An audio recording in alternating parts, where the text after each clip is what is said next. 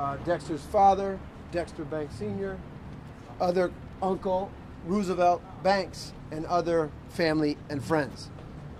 Let's take a minute and talk about who Dexter Reed was. He's 26 years old, played basketball at Westinghouse, led the team to a regional championship. Dexter later became a student athlete at Morton College, where he obtained his associate's degree. His friends and family affectionately called him Buki. Dexter enjoyed playing hoops, he enjoyed healthy eating, he enjoyed cooking. He loved spending time at his sister Porscha's shop. Dexter's goal was to be a broadcaster. So let's talk about why we're here today and why Mayor Johnson and State's Attorney Kim Foxx and Chief of COPA just gave their press conference. We're here today because on March 21st, something really tragic happened in the city of Chicago. What we witnessed on the video that we watched with the family yesterday was tactical officers, plain clothes, unmarked SUV, wearing hoodies and baseball caps, pulling over Dexter for not wearing a seatbelt. These officers never announced they were police officers. And then what we witnessed Dexter got out of his car unarmed and was shot by the police. Based on the COPA report that you all received this morning, 96 rounds were fired by these officers. So let's say that again 96 rounds were fired by these tactical officers. And what also happened is if you watch the end of the video, you see an officer, military style, executing Dexter while he laid by his vehicle, unarmed and helpless. Last Friday, at the funeral, this family said their last goodbyes to Dexter. Now that this family has watched the video and seen the evidence, we are demanding action. We also believe that Mayor Brandon Johnson is committed to change. We believe that under his leadership, Chicago can change. He spoke with the family on Saturday afternoon. He committed to a full and transparent investigation. So, where do we go next? We're asking the Johnson administration to commit to the consent decree. Sheila Bedi and her team, Craig Futterman and his team have worked tirelessly to advance the consent decree, and there's been a total lack of compliance. We're specifically asking the mayor and Police Chief Snelling to disband these tactical units that have been terrorizing communities, folks in communities on the west and south sides. We're also asking that Superintendent Snelling strip the officers involved with this fatal and unjustified shooting. We're asking Chief Kersten from COPA to continue her investigation. We're also asking, if you watch the objective video evidence, that State's Attorney Kim Foxx move swiftly to get justice for this family in what we think there should be a criminal indictment against some of these officers. We're also asking Mayor Johnson to work with government officials in Springfield to advance legislation related to disciplinary police actions. Keep those hearings public and in the open for all of us to see and witness. This family doesn't want this to happen to anyone else. This family also doesn't want any violence in this city based on this incident.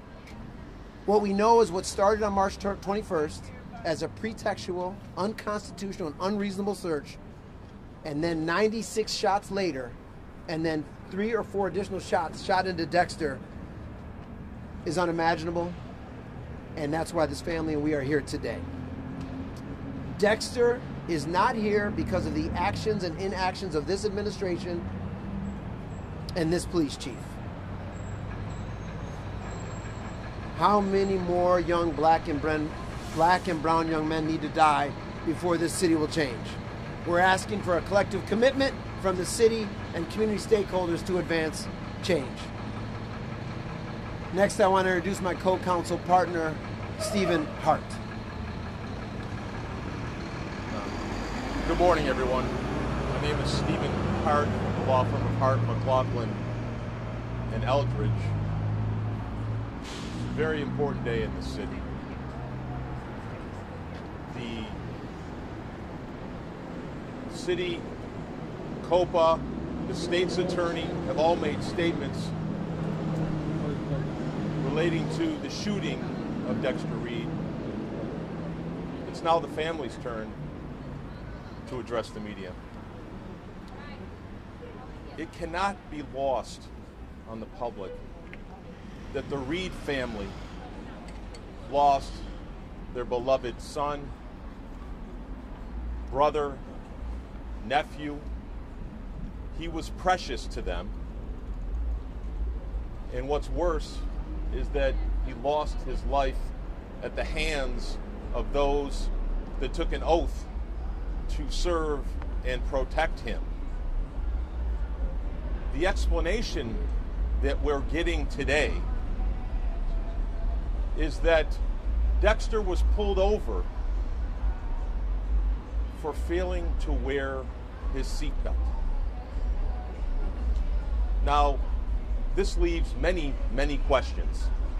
Why were tactical officers jumping out of an unmarked police car with their guns drawn for a simple traffic violation of not wearing your seatbelt? Dexter did not run. There was no chase. They asked him to roll down his window. He did. And in response, he got guns in his face for not wearing a seatbelt. To us, to the family, that sounds disproportionate. It sounds pretextual.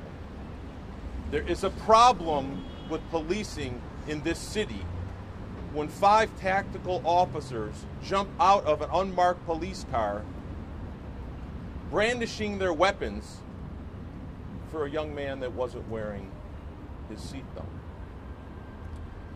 What's worse is the city has a long and sordid history of trampling on the rights of black people in this city there have been multiple lawsuits filed, class action lawsuits, declaratory lawsuits. They've been filed by the Department of Justice, by institutions of higher learning, the Police Accountability Task Force, run by our former mayor, addressed the stop and frisk policies of this city. There is something very wrong about the manner in which the Chicago Police Department is policing our minority and underprivileged neighborhoods. And this is but another glaring and tragic example of the police policies and practices being instituted, and they led to the death of a 26 year old young man for not wearing a seatbelt. I'll offer one more thought. The police department in this city often suggests that they have a right to discharge their firearms when they perceive a threat against them. Imagine a 26 year old not having known what he did wrong and having five guns pointed at him. Do you believe he was frightened? Do you think his security and health and safety was threatened? So oftentimes we hear in unjustified shootings that officers felt they were at risk, that there was danger because someone was pointing a gun at them. Yet when they create the same set of circumstances, they fire away 96 times in 41 seconds they fire away 40 times on an unarmed man outside his vehicle. And finally, they fire away after reloading their clips three times on a young man who was lying on the ground, having already been shot multiple times. It doesn't seem right to this family. It should not be comfortable for the citizens of Chicago. And so we're asking for a dialogue with the city, an important dialogue. We'd like to thank COPA for looking closely at this shooting. We have confidence that they'll investigate it thoroughly, and when they do, they'll bring the appropriate charges. We'd like to thank Kim Foxx for her courage uh, in what she has to uh, review in the next couple of weeks. And uh, now So- I'd like to ask. Uh, So Sheila Bedi, Northwestern School of Law, Community Justice Clinic is going to speak, um, given her background on Monell violations in the city. So you, you already heard that the Reed family had to endure the unimaginable tragedy of watching Chicago police officers shoot their beloved Dexter Reed 96 times. But like all acts of police violence, this isn't just about the wrongdoing of these individual officers. It's about the violence that is inherent in policing and about the systemic deficiencies within the Chicago Police Department. Those videos demonstrate numerous serious systemic deficiencies that have not been remedied despite the millions of dollars that have gone into the consent decree. Let's start with the TAC teams. 2017, the United States Department of Justice documents in its investigation that TAC teams are violent, aggressive, racist,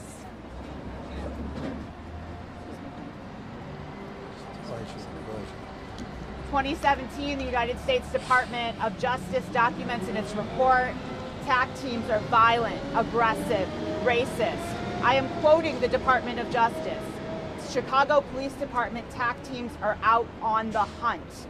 That is precisely what happened to Dexter Reed. Ununiformed officers, unmarked cars, a traffic stop for a seatbelt that begins with officers guns out, pointing, screaming commands.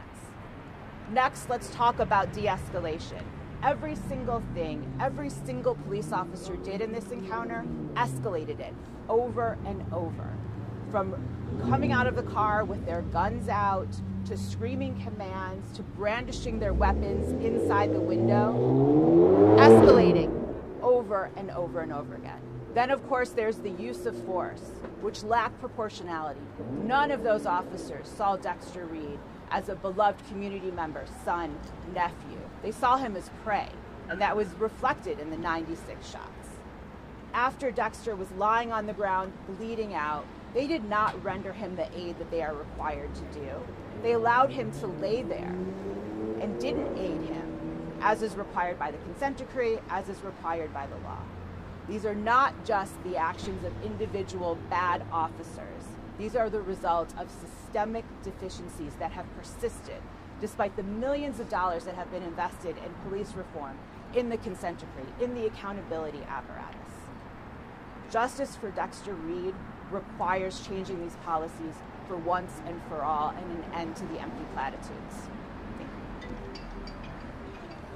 Now we're going to hear from Porscha Banks, P O R S C H A Banks, B A N K S, the sister of Dexter Reed.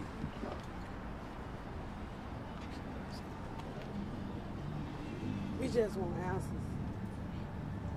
Regardless of the person that they try to portray Dexter as, he was not one of those.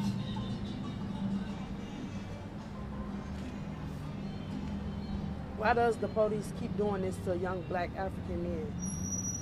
If he was supposed to get pulled over for a traffic stop, why did they have four guns pointed at him? He was scared. And after he was already on the ground, dead, they still put him in cuffs instead of checking to see was he breathing. They shot at him 96 times. They reloaded the clip three times. It must stop. It ain't the first person it happened to. And if this don't be justice, if they not held accountable, it won't be the last person. I really can't explain the pain that me and my family is going through. But I just hope that there's people out there that understand he was a son, he was a brother, he was an uncle, he have loved ones, he was somebody very important. He was not in the streets. And the image that they're trying to portray him to be, that was not him. And everybody that know him knows Dexter was a loving young guy. He was very, very mannerable. And I hate that this happened to us.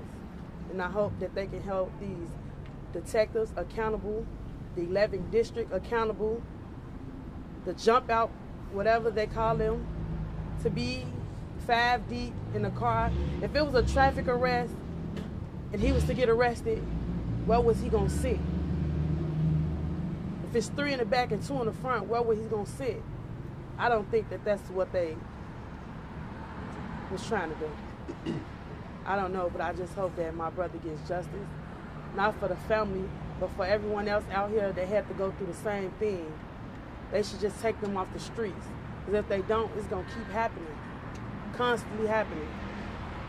And it's not fair. It's not fair to us. It's not fair to the others. And as well as they have family, if they want to go home to his family, he could have went home to his family as well. That's all I got to say. We're going to now hear from Roosevelt Banks, the uncle of Dexter Banks. Uh, Dexter yes. Reed, Dexter Reed, Roosevelt Banks. I just want to say, after looking at the video footage yesterday and seeing police officers jump out of a vehicle with hoodies on, guns drawn, if I was in that situation, I would be terrified. I wouldn't know how to specifically react other than to protect myself if that was the case. But just to know that after he was shot up in the car, he got out of the car and then proceeded to put his hands up and you shot him more times as he fell and then you continue as you added clips to your gun. That is nothing but plain murder to me. Murder.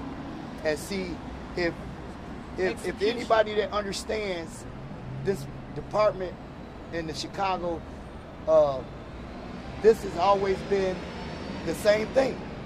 And so, if we don't at some point try to exercise the federal government to conduct an investigation on not just the police that did that to my nephew, but the 11th district, which is known for years to have this same history of violence against people of color. And, and, I, and I want my nephew's name to never be forgotten. And I want the city and this country to change the way they police our citizens. Because if you don't, at some point, there'll never be another way of ending this. And I just want to say, I miss my nephew. He was an athlete. He was a special person. He, he, he, he, he prided himself on being healthy, exercising. And so to lose him in that manner with someone that you're supposed to have been protected by, it just leaves a, a, a, a, a, a, a part in my, in my soul that will never be able to be replaced. And I just want to say, justice for my nephew. Justice for Dex. Justice for Dexter. For Dexter. Justice for Dexter. Uh, Dexter Reed, Dexter Reed Sr. is going to speak for, for a minute. How you all doing? Yeah. Was an unfortunate accident on March 21st. Uh, I just talked to my son that day, like at 5:59. You know, I didn't know that that that, that was going to be his last words to me. You know, and uh, very hurt. I'm very hurt right now. And uh, and I talked to Mayor Johnson uh, Sunday, and and I, I explained to him that. Uh, that those officers need to be held accountable, you know, and those and those officers need more trained. You got young guys that's uh, two years, five years experience, you know, and and I seen the tape yesterday and how they approached the car, you know, you know, and and it wasn't the proper protocol, you know. First of all, the way she came to the car, aggressive, using profanity, and then he rolled his window down. Then the other the other officer come on the side trying to intimidate him, stuff like that. You know, my son probably was scared, you know. And, and it's been it's been a known fact in Chicago that police always target black and brown communities, people, you know. And as my son got out pleading for help, they shot no 96 times. 96. Yeah, that's too much. And then about two rounds. Come on, two. I'm watching that. Just imagine how your kids would feel if they got shot like that, you know. And uh, and even when he was falling on the ground, pleading for help, begging, they still kept shooting. And when he was on the ground, I still had an extra four shots. And it's not right.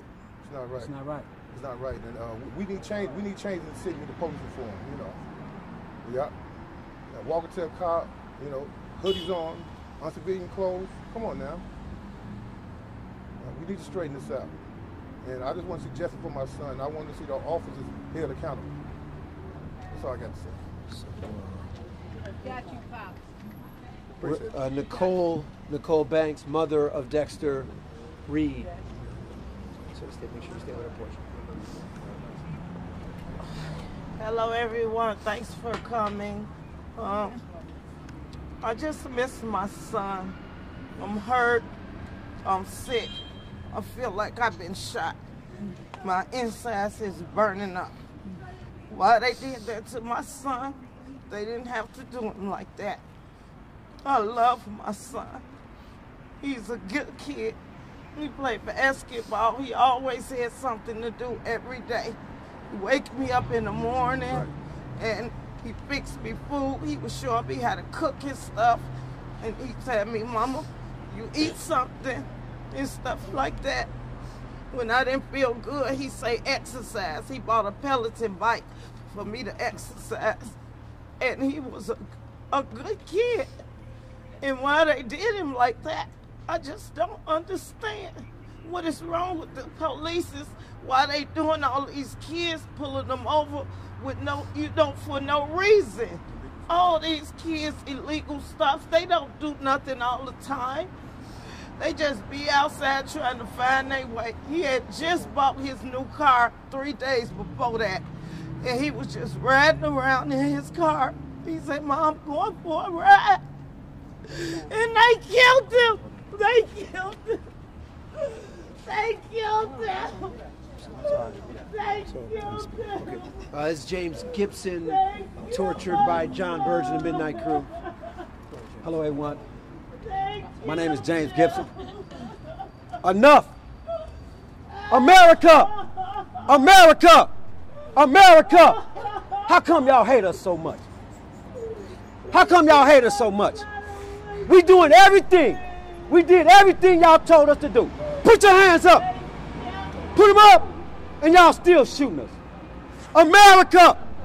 America! America! How come y'all hate us so much? Enough. There's no more need for investigations. The video clearly shows they shot the they shot the man on the ground. They jumping out gang banging with hoodies, with hoods on. America! America! America! How come y'all? How come y'all hate us so much? We doing everything y'all told us to do. Put your hands up. Don't resist. Don't talk back. And now y'all even shooting us in the mouth. I'm James Gibson on the land, man. There's no more need for any more investigations. We want to arrest, and we want to arrest us now. They shot that man down in the street, on the ground, in his mouth. America, America, America. How come y'all hate us so much? Uh, Miracle Boyd. Good afternoon, everyone. My name is Miracle Boyd. I'm 22 years old. I'm a youth organizer of Good Kids Mad City, and we are a youth-led gun violence prevention organization based on the south and west sides of Chicago. Um, our demands are simple. We demand the firing of the five officers who executed Dexter Reed while the investigation is still ongoing at this time. We demand an end to all traffic stops at this time and deem them unconstitutional. We demand that Mayor Brandon Johnson be held accountable for the officers on his force. And we demand for COPA, Superintendent Snelling, and Mayor Johnson to take immediate action and fire these officers.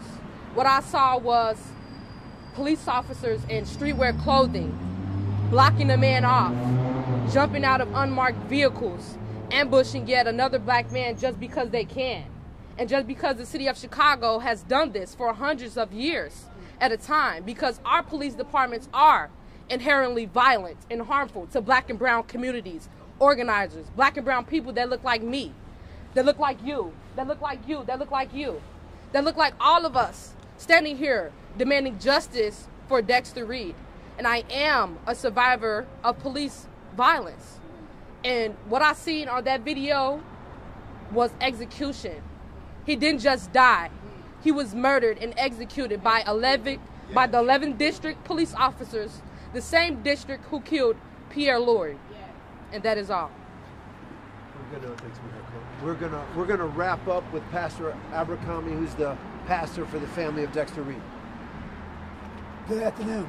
My name is John Abercrombie. I'm the senior pastor of Zoe Life Ministries, located at 5151 West Madison.